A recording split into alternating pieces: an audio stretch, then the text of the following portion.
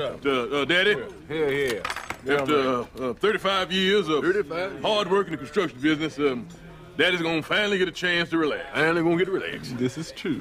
Damn right. And I'd just like to say, in front of everybody here tonight, when you gonna stop jabbing and tell everybody you got laid off? Oh my God! Hey, somebody put the Heimlich on. I got you, I got you. Arm up.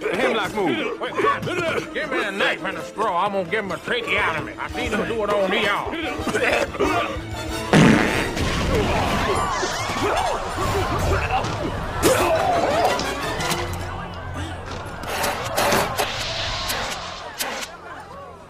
It's all right, folks.